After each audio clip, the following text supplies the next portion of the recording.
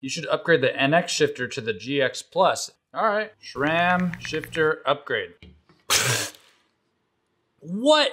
An XX1 grip shifter? No way. I'm buying that.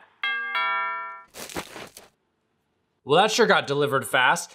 I didn't even know SRAM still made grip shifters, let alone top of the line 12 speed XX1. Let's get this thing installed.